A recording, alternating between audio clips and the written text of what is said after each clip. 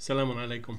Tonight uh, we return again with the same topic, talking about Laylatul Qadr, providing uh, a few more evidence, a little, uh, you know, a few more evidence uh, regarding the the fact that it is not just one night in the year. This is great news, and I hope you are as happy as I am in sharing this information. Inshallah, we will review uh, three verses from Surah Fussilat and we will review them and you will make a decision for yourself. I just ask you to listen patiently and to hear what these verses say and you decide. Uh, Allah subhanahu wa ta'ala in Surah Fussilat, which is verse uh, Surah uh, 41, chapter 41, starting with verse 30.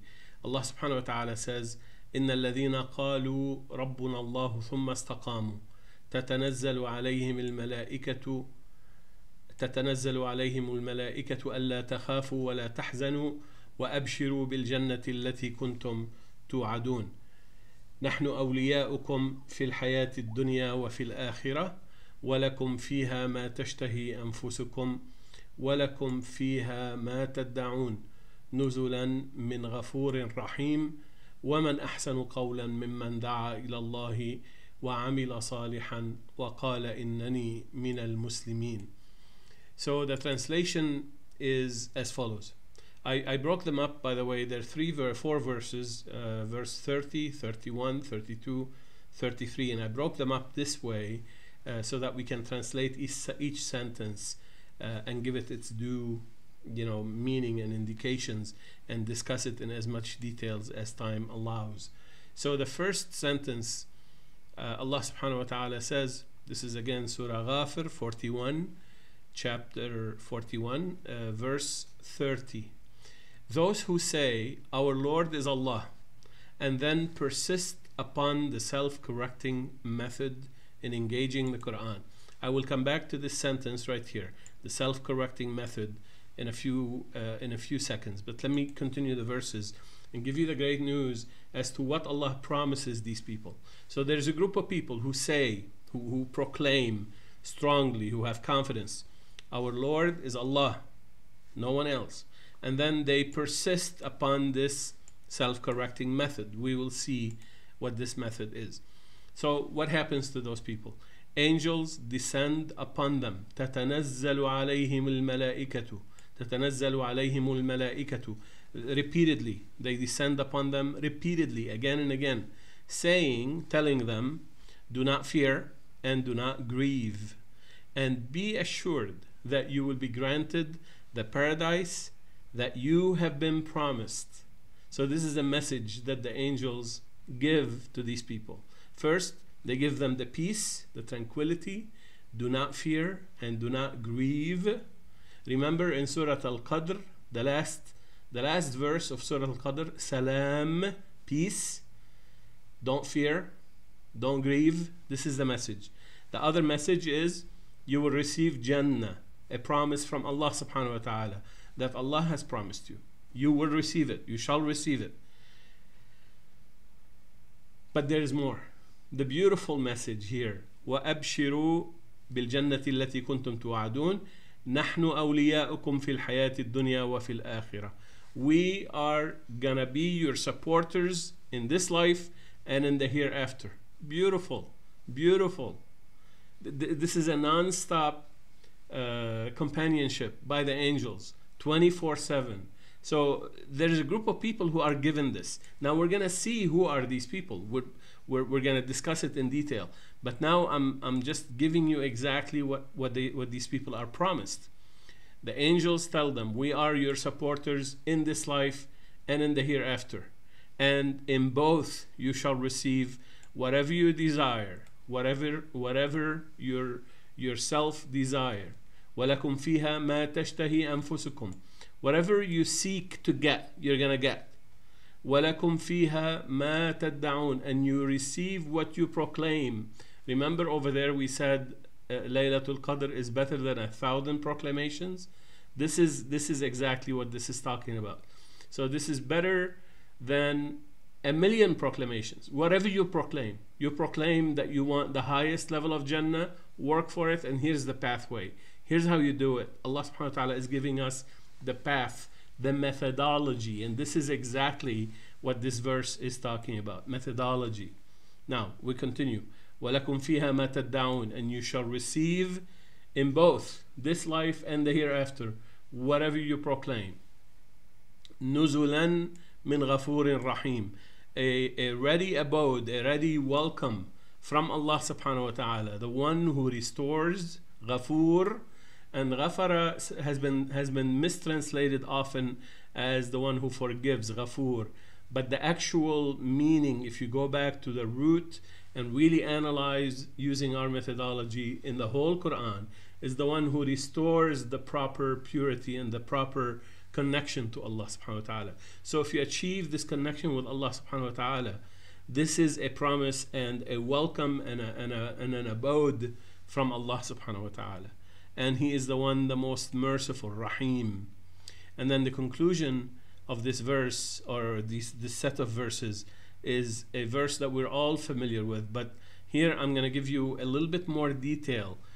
Uh, it says who is better? Whoever is better who who is better than uh, than someone who invites to Allah and seek the correct terminology from the Quran and proclaim to be among those who submit to Allah now the the, the Arabic says وَمَنْ أَحْسَنُ قَوْلًا who uses the more uh, the more beautiful or the more truthful wording of the supplication the word qawl is utterance, utterance, or how you address Allah, or how you talk to Allah. And you talk to Allah, you address Allah in supplication, in dua, using the words of Allah subhanahu wa ta'ala. The words that Allah, you know, uh, endowed with the truth and with the beauty that He deposited throughout the whole Quran, 6,236 verses. So when you're when you're using these words, you're using these sentences from the Quran, Allah subhanahu wa ta'ala says there is no better, that you cannot do any better than this. And this is the key to understand this whole series. So whoever follows this method of seeking salih, the word salih is from Arabic, from the Arabic root salaha, which is the, the jadr or the root salaha. And from it we get the word mustalah, which means terminology. So therefore, whoever is working, amila salihan, seeking to work according to the terminology of the Quran. The terminology of the Quran is the key to all of this stuff. So when you when you go back to the very beginning, the very first uh, verse, قالوا ربنا الله, they seek only to please Allah, nobody else, not whatever this person said or that person said. Just follow what Allah says in the Quran. ثم استقاموا the word استقاموا those of you who know Arabic will notice that it has seen this seen right here and it has this ta and these two letters change the meaning of the word so he's not talking about the straight path. That would be qawim. Istaqama that means self-correct. He seeks the self-correcting way. In other words he seeks the methodology that Allah has deposited in the Quran and work according to the methodology by engaging the Quran using that methodology.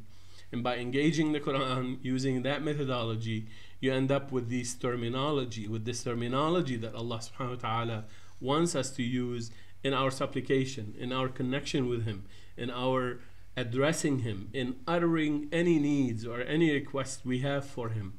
If you do all of these things, if you are truly committed and certain of what you're doing, you fall into these categories. You, you fall into this category of this group of people who, upon whom the angels descend with the, with the message that you should not fear, you should not grieve, and you shall be rewarded what you have been promised, which is Jannah, which is ultimately, this is, this is why people seek Laylatul Qadr, right? Assuming that it's one night uh, in the last 10 days of Ramadan well, the ultimate you could ask for is Jannah. Well, Allah subhanahu wa ta'ala is telling you, you can have this anytime you want. Look, these verses in here, this is the whole paragraph, and you can go back to Surah Fussilat, and you'll see I didn't omit anything. I, these are all the verses that talk about this topic.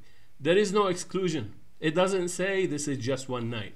It doesn't say this is only in the last 10 nights of Ramadan. It doesn't say this is a specific check mark on the calendar. It says anytime these people act in this way, the angels descend on them.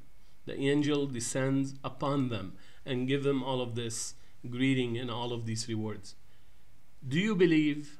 If you believe, you fulfill these verses anytime you want. Allah subhanahu wa ta'ala is near.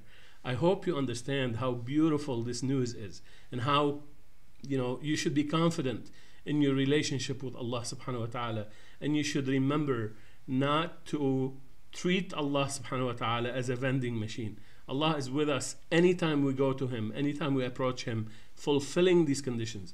He gave us this beautiful book. He put within it the methodology.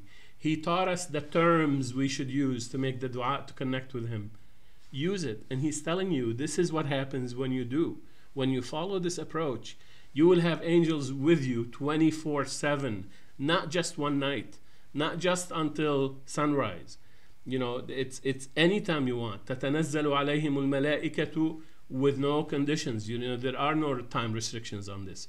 I hope that you see why I have been telling you that Laylatul Qadr is a type of night. It's not just one night in the year. It's not just one limited opportunity. We have the same opportunity every single night. And therefore, if you if you seek to work with Allah subhanahu wa ta'ala or to connect with Allah subhanahu wa ta'ala and you go through the methodology that we use from the Quran and and this is something we've been talking about throughout the whole all of these segments in the in the channel uh, you go back and understand the methodology and you have access to all of these promises from Allah subhanahu wa ta'ala. I hope this has been useful. I bid you peace and I thank you for paying attention. And uh, salamun alaikum